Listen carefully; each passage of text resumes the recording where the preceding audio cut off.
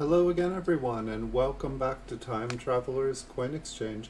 The next coin we're going to take a look at is a 1962p Roosevelt dime. This one is a business strike dime from the Philadelphia Mint. It has been graded by PCGS and they graded it mint state 66 with full bands. Uh, we'll take a look at the front of Roosevelt and then we'll take a look at the reverse. Uh, this one's going to go up for sale on my eBay store. You guys can find a link in the description below the video. It'll take you to this exact dime on eBay. Um, once there, you can also take a look at over 3,500 PCGS graded coins for sale.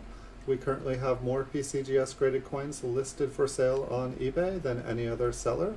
So if you guys are looking to add a PCGS graded coin to your collection, there's a really good chance you're going to find it here at Time Travelers Coin Exchange. Whenever you do purchase a coin from us, you can always enter the 8-digit cert number on the PCGS slab into a YouTube search browser bar. It'll bring up a video of the exact coin you purchased. You can then look at your coin anywhere in the world, anytime you wish.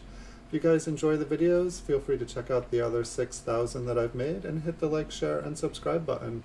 Uh, turn on notifications if you'd like to see my future videos as I do make new ones daily. I also do a live stream called The Coin Vault Has Opened on Wednesdays and Saturdays at 9 p.m. Pacific time here on YouTube.